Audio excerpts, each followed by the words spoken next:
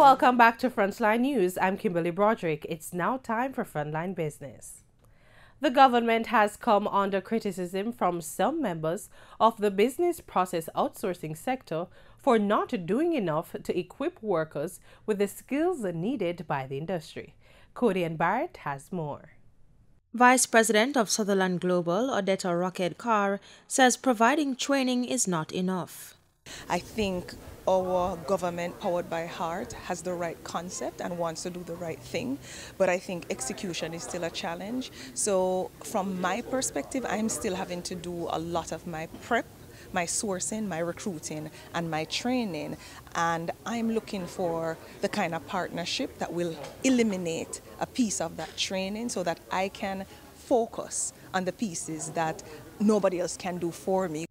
Ms. Rockhead-Kerr argues that the infrastructure at the Heart Trust NTA is not suitable to provide industry ready professionals. Sometimes we have a way of overcomplicating something that can be much simpler. And uh, sometimes we don't have the necessary, you have people with the right intention, especially in heart. I know so many people in there who are very passionate about what they, do, they are doing, want to execute, but I'm not sure if the environment is set up for them to be successful and get the things done that we need to get done because there's so many contingencies that's tied to what they need to do. Cody and Barrett, Frontline Business. Meanwhile, President of the Business Process Industry Association of Jamaica, Gloria Henry, says finding appropriate space is also a major challenge for the industry. I would say that um, there are some challenges in terms of purpose design space because some people are of the view that just about any space can be used. But we have to be competitive. And um, in Costa Rica and Uruguay and Colombia and Dominican Republic, they're building our purpose design in Panama quality space. And our spaces have to be up to those standards because many of the multinationals that are here, they operate in other locations. And as I say, this is a people business. And we're not just going to put people in any space. It has to be, it has to meet the right environmental standards, safety standards, aesthetic standards as well.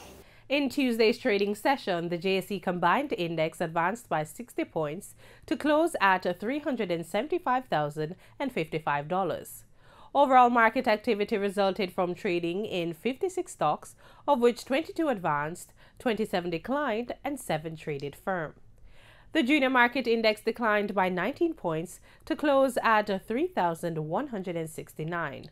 Stocks advanced for 1834 investments, Blue Power Group, cargo handlers, Caribbean Cement, and Caribbean Cream. Stocks declined for Access Financial Services, AMG Packaging and Paper Company, Barita Investments, CAC 2000 Limited, and Caribbean Producers. Trading firm were CAC 2000, Everything Fresh, Jamaican Teas, JMMB Group, and Kingston Properties.